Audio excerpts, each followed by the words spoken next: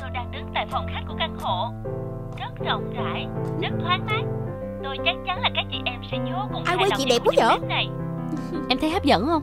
Nếu mà em là một người đang cần mua nhà á, Em coi được cái video của chị á Em có muốn mua không?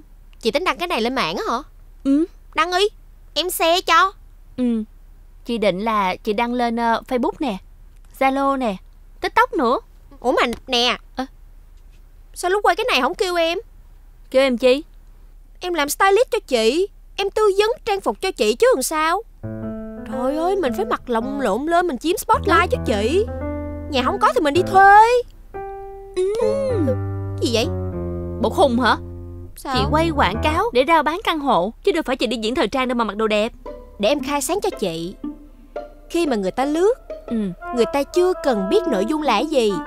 Chỉ cần thấy người đẹp Người ta sẽ dừng lại và xem Ok chưa Ừ. Kém cỏi thiệt chứ. À phải rồi.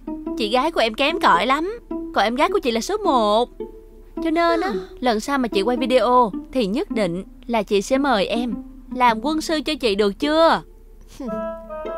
Chỉ cần có hoa hồng thì muốn gì cũng được. Em muốn hoa hồng thì sẽ có hoa hồng cho em. Ok. Còn bây giờ á Thì mời quân sư đi lên học bài cho tôi đi. Tránh ra cho tôi làm việc nè Gì vậy? Em còn chưa kịp hỏi là ai quay cái này cho chị. Rồi quay bằng gì mà sắc nét vũ thần luôn? Đi học đi Lên học bài cho chị. Kỳ đi, vậy? đi, đi. Đi. Ôi là trời á.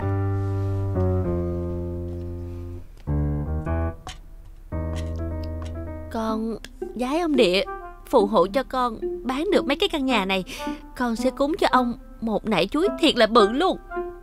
Con xin ông địa, con xin ông địa, con xin ông địa sao không trân trọng một nửa chân thành